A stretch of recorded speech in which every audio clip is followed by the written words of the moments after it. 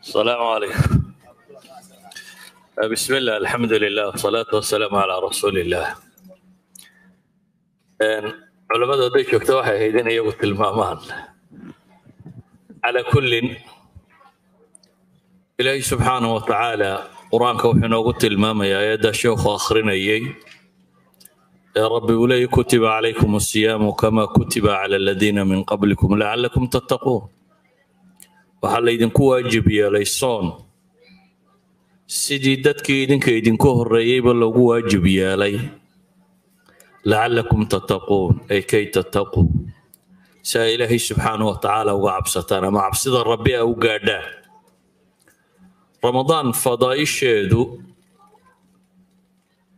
in badan baa maqasheen baan rajaynayaa waana bil kow ah misfaad ruuxiya waa biluu qofka muslimkii u sahay xidha inuu dembiga iska maydho waxaa inoogu dhib badan ee dunida inaga haystaa waa dunuubteenna aakhiriya adduunbana waxaa laynagu abaal marinayaa inta badan waa dunuubteenna wixii aan rabbi inaga dhaafa mooyaane haddaynu heeryadaa iska rogno waad xalay dhalaydee soomaalidu sheegaysay ka noqotay dunuubta. Waa waxa ugu weynee alle loogu dhowaado. Axadulculamaa baa waxaa loo la weydiiyey. Tasbiixda iyo istikfaarka kee baanu horraysiinaa bay dhaha ama kee baa fadli badan. Markaasaa wuxuu yidhi dadka dunuubtu ku badan tahayna istikfaarka u roon buu yidhi.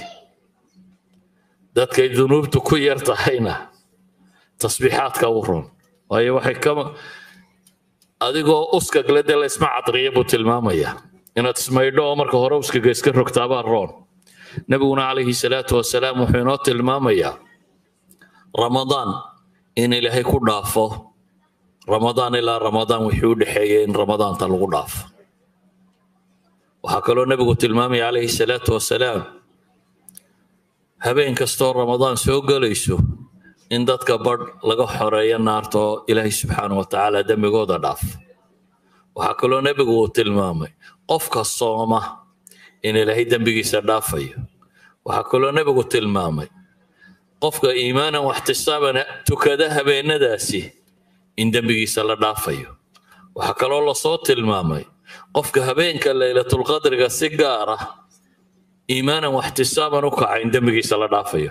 Idan ramadaan oo dhammi ama soonkeeda ha noqoto ama qiyaamuleelkeeda ha noqdo iyo salaadaha habeenkii la tukanayo ama habeenka laylatulqadriga ku jira ha noqdo dhammaanteed inay tahay wax qofka muslimkaa ilaahay subxaana wa tacaala dembiga uu kaga dhaafo dunuubtaynu galla waa tiro badantay cibaadaadkaynu la nimaadnaana kuma wada filla. Oo nebigu wuxuu tilmaamayaa salaad ilaa salaad baa dembiga lagu dhaafaa. Haddana wuxuu nebigu tilmaamay jimce ilaa jimce baa dembiga lagu dhaafaa. Haddana wuxuu nebigu tilmaamay bil ilaa bil baa dembiga lagu dhaafaa.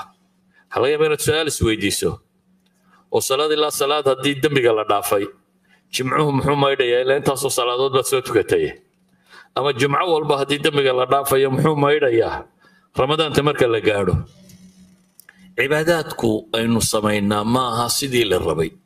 Nebigu wuxuu tilmaamaya calayhi salaatu wasalaam mid baa salaad tukada oo salaadiisa aanan helaynin ilaa cushuruha ama thumunuha ama tusucuha iyo wax la mid a idan waxoogaaga jajabka marka laysugu kaa biiriyo kolba inbaa lagaa dhaafayaa hadday wada dhaafi kari weydo ta kale jajabkeedaa lagugu sii daraya in kalaa lagaa dhaafi hadday ilaa jimcaha gaadhi weydo waa laysugu kaa biirin idan waxaynu samaynoo dhammi perfect ma wadaha halkii qimada ma gaadhsiisna laakiin waa waxyaabo qofka muslimka hadduu ku dadaalo dhammaantood ilaahay dembigooda ku dhaafayo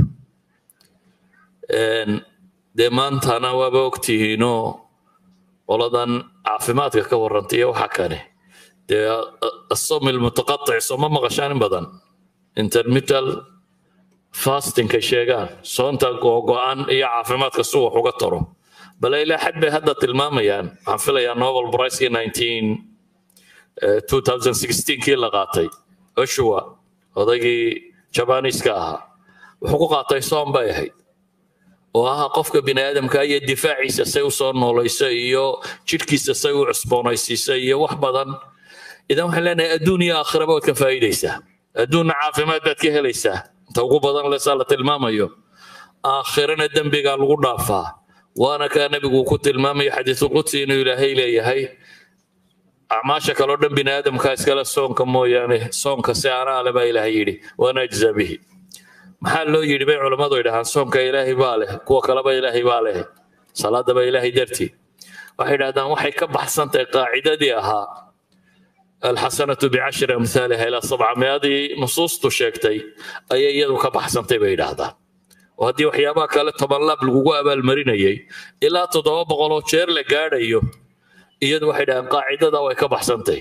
Ajarkeeda ilaahay umaa garanaya subxaanahu wa tacaala idan waxaynu leenahay waa wakti aynu u baahanay inaynu u diyaargarowno. Ninka taajirka ahi wuxuu u diyaargaroobaa mawsamka wax la gato soxaka ma aha ninka taajirka ahi uu is wax badan baa lagaa gadanayaa buu alaab badan soo jamlaystaa oo ku talagalaa qofka muslimka ahi wakhtiyada dembiga xoogga loo dhaafo inuu u ku habboon. Acmaasha kaleo dhan uu iska fudaydiyo si uu camalkaasi u dhammaystiran karo.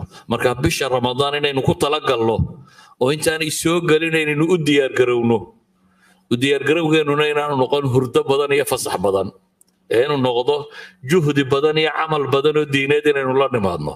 Dadka badh baa ramadaanta waxay ugu diyaargaroobaan beriskii reerku cuni jiray beriska tiro badan hilibkii la cuni jiray hilibka tiro badan. Kaamaha diyaargarowgaa ka warramayaa ramadaan waxaa loo soomayayba in la gaajooda in cunada la sii badsada looma xoolo guranaynine waxaynu rabnaa inaynu u diyaargarowno cibaado badan inaad samayso bishaa inaad cibaadaysato cibaadaysato cibaadaysato. Oo isku dayda inaad ka bixi karto bisha iyadoo ilaahay dembigaaga dhaafay. Wsal allahuma cala muxamedin wala alihi wasaxbihi wasalam walxamdu lilahi rabbi alcaalamiin